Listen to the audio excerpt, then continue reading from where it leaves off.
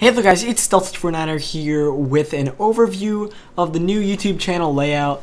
So I'm going to start up here at the top and go through all of the tabs. So first at the top you'll see my avatar and my channel banner here. And then on the bottom right of the banner is a link to my website, my Twitter, my Facebook, my Google Plus, and my Instagram, which you can follow me on all of those. And under that is my tagline and a subscribe button. Then there's the four tabs and the search button. Uh, so home has two options. There's browse and feed. Now I personally do not really use the feed too much. Uh, so for my channel you can just use the browse and it works fine. And if you, um, for those who aren't subscribed, they will see a welcome to my channel uh, channel trailer video.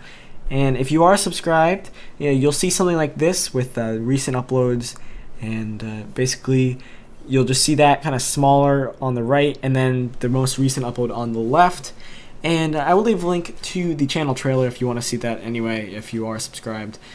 And uh, recent uploads is here, as I just explained, is the um, past six uploads. Now, this will also be here, so if you are subscribed, you'll see both of them. Um, I don't know what I'm going to do about that, but I do like to keep that there for anyone that isn't subscribed. And uh, so then you'll see the past six uploads, and it's uh, the newest and the oldest, and it goes like one, two, three, four, five, six. And then playlists, all my playlists are listed here. I wish I could reorder them, but I don't think I can, uh, but they are here.